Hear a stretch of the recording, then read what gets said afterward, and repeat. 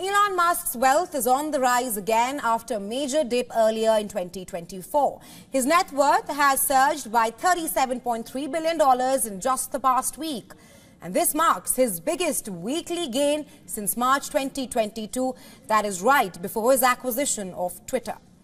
The driving force behind this surge is Tesla. The electric car maker's stock price skyrocketed on news of receiving initial approval from China to deploy its driver assistance system.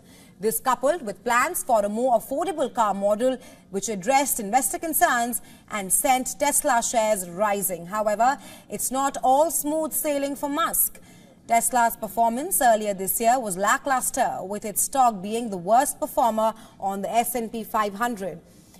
His Twitter acquisition X has seen a major drop in value, down roughly 73% since the purchase. While Tesla's recent rally has boosted Musk's net worth, another company in his portfolio has experienced impressive growth.